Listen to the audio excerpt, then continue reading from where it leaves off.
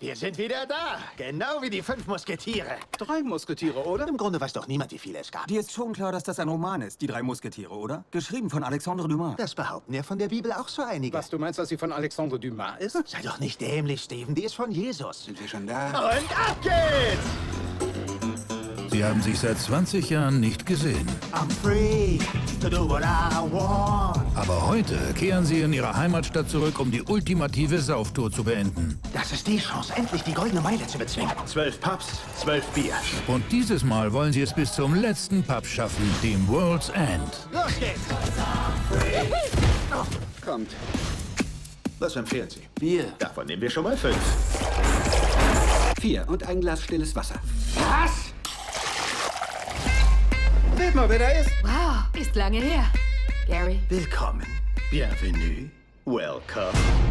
Ja, schon komisch, oder? Man kommt zurück und alles ist irgendwie anders. Ich würde vorschlagen, ihr macht, dass ihr wegkommt.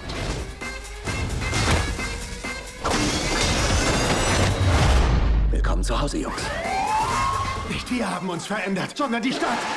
Was soll das? Ist schon gut, es geht nicht um Sex. Ich muss dir nur sofort was erzählen. Es sei denn, du hast Bock auf Sex, dann erzähl ich's dir hinterher. Erzähl's mir gleich. Was hat er gesagt, Sam? Roboter haben Mythenhäfen übernommen. Hast du ihm geglaubt? Wir sollten zurück nach London fahren. Erstens, wir sind alle betrunken. Zweitens, wir haben Blut an unseren Händen. Es ist eher Tinte. Wir haben Tinte an unseren Händen. Vom Regisseur von Shaun of the Dead und Hot Fuzz. Los, wir klettern die Regenrinne runter. Ich habe eine bessere Idee.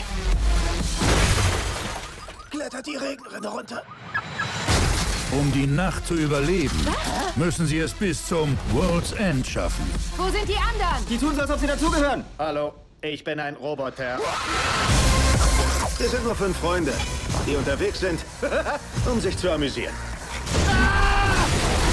The World's End. Was zum Teufel ist das? Wir schaffen es bis ins World's End, auch wenn wir dabei draufgehen. Oh nein!